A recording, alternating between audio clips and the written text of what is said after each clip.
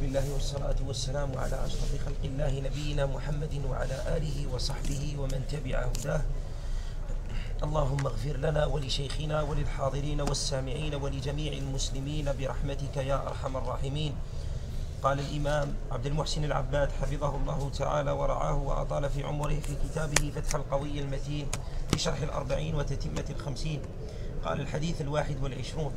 عن أبي عمرو وقيل أبي عمرة سفيان بن عبد الله رضي الله عنه قال قلت يا رسول الله قل لي في الإسلام قولا لا أسأل عنه أحدا غيرك قال قل آمنت بالله ثم استقم.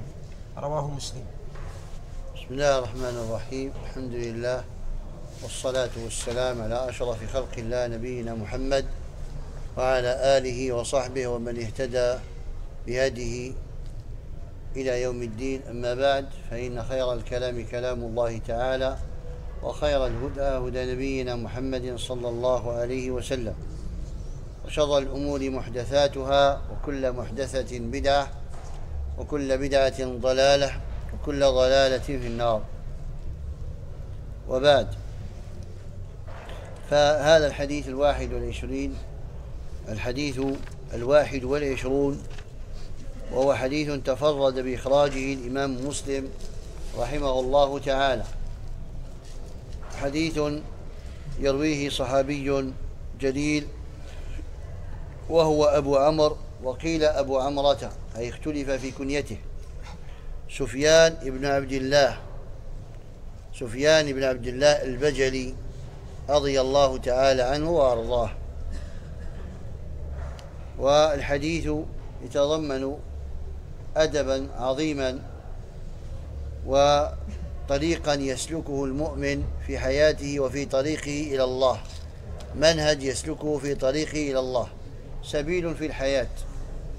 وهو يجمع آه، مقتضيات ومعاني كلمة التوحيد لا إله إلا الله محمد رسول الله. قل آمنت بالله لا إله إلا الله. ثم استقم أي على شرع الله الذي جاء به النبي صلى الله عليه وسلم من عند ربه وهي معنى محمد رسول الله صلى الله عليه وسلم. فالحديث آه، يتضمن آه، أصلا عظيما يسير عليه العبد في طريقه إلى الله. وهذه الاستقامة هي التي أمر الله بها نبيه عليه الصلاة والسلام. فاستقم كما أمرت ولا تتبع أهواءهم. فاستقم كما أمرت ومن تبع معك ولا تطغوا. ثم استقيموا إليه واستغفروه. فهذه الاستقامة سبيل للنجاة في الدنيا والآخرة. وتدل عليها أحاديث أخرى. يقول صلى الله عليه وسلم سددوا وقاربوا. استقيموا ولن تحصوا. واعلموا أن خير أعمالكم الصلاة. ولا يحافظ على الوضوء إلا مؤمن. فالاستقامة منهج حياة. سبيل للنجاة. حاصلها تحقيق التوحيد لله عز وجل والاتباع لرسول الله صلى الله عليه وسلم. نعم. اقرأ. قال الشيخ حفظه الله أولا أصحاب رسول الله صلى الله عليه وسلم أشد الناس حرصا على معرفة الدين وهم أسبق إلى كل خير. وهذا السؤال من سفيان بن عبد الله رضي الله عنه واضح في ذلك. إذ سأل النبي صلى الله عليه وسلم هذا السؤال العظيم.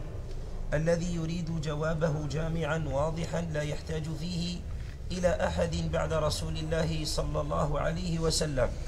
هذا مما يلزم اعتقاده وتفهمه ودرايته أن أحرص الناس على الخير وأسبق الناس للخير وأسرعهم لذلك هم الصحابة الكرام. ولهذا كانوا يسألون النبي صلى الله عليه وسلم. وعندما تحرجوا من السؤال كانوا يودون ودا شديدا أن يأتي الأعرابي من الأبادية فيسأل ويتحينون الفرص لذلك. ولهذا ما تركوا شيئا يقربهم إلى الله ويبعدهم عن النار إلا وسعوا في تبينه والسؤال عنه واستيضاحه من النبي صلى الله عليه وسلم.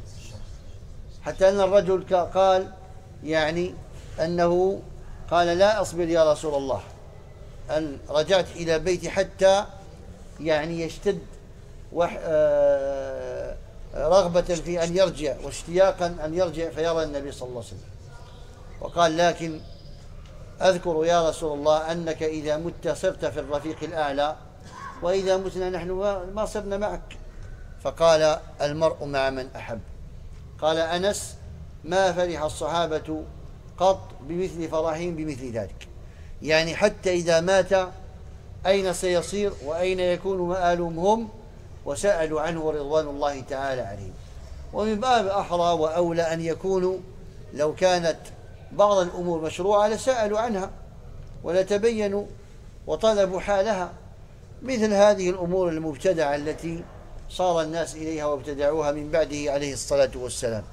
ولا دليل لها ولم ينزل عليها سلطان من عند الله عز وجل. فإذا أحرص الناس على الخير الصحابة. أسبقهم للسؤال والبحث عن السبيل الذي يوصل إلى الله الصحابة. ولو كان خيرا لسبقونا إليه. ولو كان خيرا لسبقونا إليه رضوان الله عليهم. كانوا أشد وأحرص ما يكون في ماذا؟ في تبين الحق والسؤال عنه. وهذا تدل عليه أحاديث كثيرة ومن هذا قل لي في الإسلام قولا لا أسأل عنه أحدا غيرك وقل بربك لولا كثير من أسئلة الصحابة التي أجاب عنها النبي صلى الله عليه وسلم. هذه الأسئلة الكثيرة. لا شك ولا ريب أن فيها خير كثير وكان السؤال قد بدر منهم عليهم الرضوان مما يدل على حرصهم. مما يدل على ماذا؟ على حرصهم. نعم. ثانيا أجاب النبي صلى الله عليه وسلم هذا الصحابي بجواب قليل اللفظ واسع المعنى وهو من جوامع كلمه صلى الله عليه وسلم. فقال قل آمنت بالله ثم استقم. فأمره أن ينطق بلسانه بإيمانه بالله الشامل للإيمان به سبحانه وتعالى. وبما جاء عنه في كتابه وسنة رسوله صلى الله عليه وسلم. فيدخل في ذلك الأمور الباطنة والأمور الظاهرة لأن الإيمان والإسلام من الألفاظ التي إذا جمع بينهما في الذكر بينها. إذا جمع بينها في الذكر قسم المعنى بينهما. وصار الإيمان الأمور للإيمان. وصار للإيمان الأمور الباطنة وللإسلام الأمور الظاهرة. وإذا أفرد أحدهما عن الآخر كما هنا شمل الأمور الباطنة والظاهرة. وبعد إيمانه ويقينه وثباته أمر بالاستقامة على هذا الحق والهدى والاستمرار على ذلك كما قال الله عز وجل يا أيها الذين آمنوا اتقوا الله حق تقاته ولا تموتن إلا وأنتم مسلمون أي دوموا على طاعة الله وطاعة رسوله حتى إذا وافاكم الأجل يوافيكم وأنتم على حال حسنة. وقد بين الله عز وجل في كتابه ثواب من آمن واستقام فقال إن الذين قالوا ربنا الله ثم استقاموا تتنزل عليهم الملائكة ألا تخافوا ولا تحزنوا وأبشروا وأبشروا بالجنة التي كنتم توعدون. وقال إن الذين قالوا ربنا الله ثم استقاموا فلا خوف عليهم ولا هم يحزنون. أولئك أصحاب الجنة خالدين فيها جزاء بما كانوا يعملون.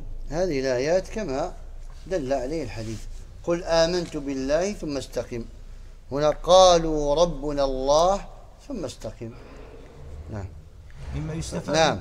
فهنا إن الذين قالوا ربنا الله ثم استقاموا تتنزل عليهم الملائكة أي في آخر حياتهم وإذا أشرفوا على الموت. ألا, ألا تخافوا فيما أنتم مقبلون عليه. ولا تحزنوا أي على ماذا؟ على ما فاتكم. وما خلفتم من ورائكم من أمور الدنيا من أهل وأولاد وأقارب. وأبشروا بالجنة التي كنتم توعدون. وفي الآية الأخرى فلا خوف عليهم ولا هم يحزنون. أولئك أصحاب الجنة خالدين فيها جزاء بما كانوا يعملون. أي أن إن أنهم إنما أورثوا هذه الجنة لما عملوه ها؟ فهم يتفاوتون بها فيها بدرجات عملهم.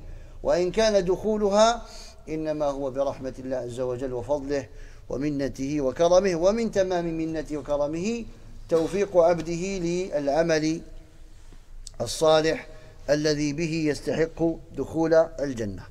ومن الآيات الدالة على هذا كما ذكرت ما جاء في سورة هود فاستقم كما أمرت ومن تاب معك ولا تطغوا إنه بما تعملون بصير. وفي الآية الأخرى من سورة الشورى فاستقم كما أمرت ولا تتبع أهواءهم وقل آمنت بما أنزل الله من كتاب وأمرت لأعدل بينكم.